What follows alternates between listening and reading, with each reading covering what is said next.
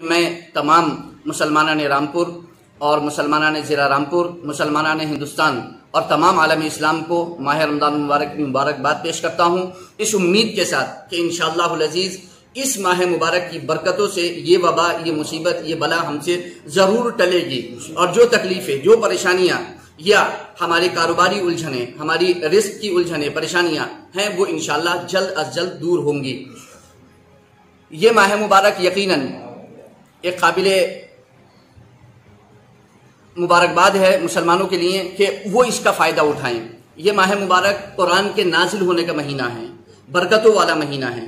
इसमें एक रात ऐसी है जो हज़ार महीनों से अफजल है। आप उसमें दुआ करें, शहरी के वक्त दुआ करें, इफ्तार के वक्त दुआ करें। और अपने रब से दुआ करके इस बीमारी से नजात हासिल करें। यकीनन, ये वो माह मुबारक है जिसमें जन्नत के दरवाजे खोल दिए जाते हैं, जहन्नम के दरवाजे बंद कर दिए जाते हैं, शैतान को जगड़ दिया जाता है, मुसीबतों को टाल दिया जाता है, मुसलमानों पर खसूसी फजल होता है, तमाम दुनिया पर खसूसी रहमतें नाजिल होती हैं, अल्लाह की जानब से खसूसी बरकतें नाजिल होती हैं। इस, आज की इस मीटिंग में खास तौर से ये बात भी थी कि अब जैसा हमारी नमाज़ पंजगाना का चल रहा था और जुमा का चल रहा था कि पाँच अफराद ही मस्जिदों को जमात से और जुमों से आबाद रखे हुए थे तो अब नमाज़ तरावी का क्या होगा? तो उसके लिए अल्हम्दुलिल्लाह यही बात तय हुई है कि जिस तरह नमाज़ पंजगाना और जुमों में हम अब तक पाँच लोगों से अपनी मस्जिदों को आबाद रखे हुए हैं, इसी तरीके से हमें नमाज़ तरावी में भी आबाद रखना है।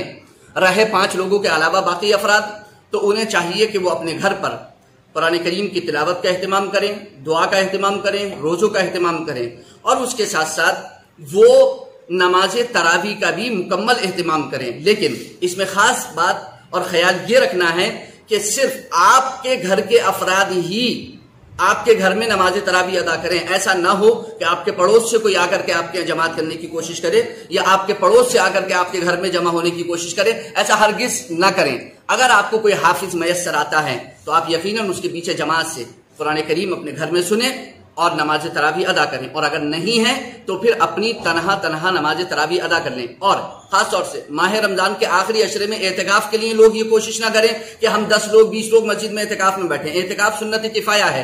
पूरे शहर में अगर एक आदमी भी किसी एक मस्जिद में बैठ गया एहतिकाफ में तो सबसे वो जिम्मा साकित हो जाएगा और सब बरी जिम्मा हो जाएँगे। दूसरे लोगों को बैठने की ज़रूरत नहीं होगी। इसलिए भीड़ भाड़ लगाने की ज़रूरत नहीं। एहतिकाफ के नाम पर, तरावी के नाम पर, या इफ्तार पार्टी के नाम पर भी कहीं किसी जगह गैदरिंग करने की ज़रूरत नहीं है।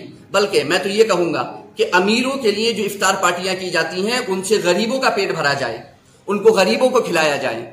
और ये माह मुबारक सिर्फ़ रोज़े का महीना नहीं है, बल्कि रोजा इसलिए है तब, ताकि हमें भूखे की भूख याद आए, हमें प्यासे की प्यास याद आए, हमें उसकी भूख और प्यास का एहसास हो कि हमारे पड़ोस में, हमारे शहर में, हमारे मोहल्ले में, हमारी बस्ती में कोई ना कोई भूखा या प्यासा होगा। हमें उसे खिलाना है, उसे पिलाना है, उसे पेट भर देना है। जक़ात, सत्तात, खैरात का मुकम्मल ख्याल रखें। आपके नबी सल्लल्लाहु अलैहि वसल्लम तेज हवाओं से ज़्यादा सखावत फरमाते थे इस माह मुबारक में। इसलिए मेरी गुजारिश है, आप भी अपने बाजुओं को कुशादा करें। गरीबों, फकीरों, यतीमों मिशकिनों बेवाओं की, गरीबों की, मोहताजों की, जरूरतमंदों की जरूरतों का खास ख्याल रखें। जिला इंतजामिया मुकम्मल ख्याल रखने के लिए तैयार है। अगर आप कोशिश कर सकते हैं तो जिला इंतजामिया की जानब से जो इमदाद है, वो लोगों तक पहुँचाने की कोशिश करें। और इसके साथ साथ सिर्फ़ मुसलमान ही नहीं, बल्कि अपने दीगर बिरादरान वतन, जो दीगर मजाहिब के लोग हैं, उनके भी जिस तरह आप ताउन कर सकते हैं, मदद कर सकते हैं, उनके भी काम आइए। और जो इस्लाम का पैगाम है, अमन का, शांति का, वो पहुंचाइए।